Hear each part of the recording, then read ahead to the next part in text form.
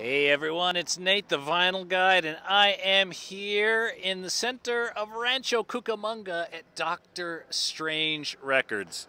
And uh, man, uh, I don't know if you've ever heard of this shop, but uh, it's one you definitely want to check out when you get down to Southern California, especially if you like the punk rock. Look at this place. This place is uh, about 20 years old, and uh, it is really a staple of the Southern California record scene here.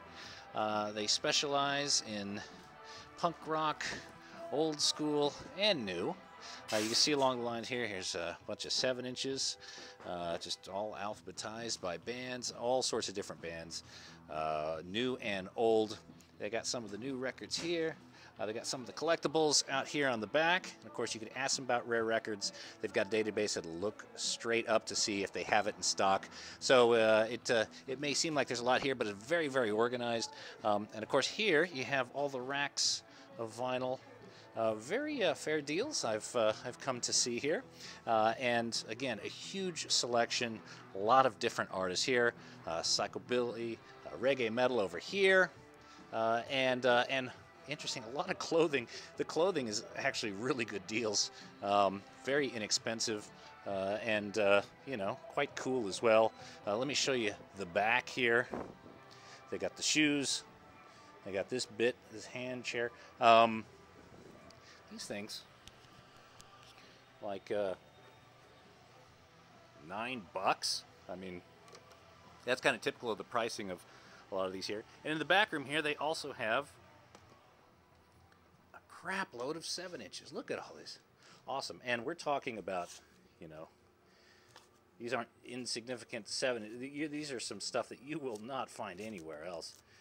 A lot of old punk bands, stuff that's on private press you can sit here and just go for days and days and days and uh, see all sorts of records that you probably will, uh, will never see elsewhere.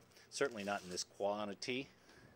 Um, and then, uh, yeah, here's some of their new stock here. But let me tell you, Doctor Strange Records, this is a cool place. I've been uh, talking with the owner here, and we may feature him on the podcast shortly because I think he's got a lot of really interesting history here and a lot of good stuff to say Of course, they got some CDs, and here's even more of their records here along the edge here. So, anyway, so if you get over here in Southern California, this is a bit east, like towards San Bernardino, uh, but certainly worth the trip.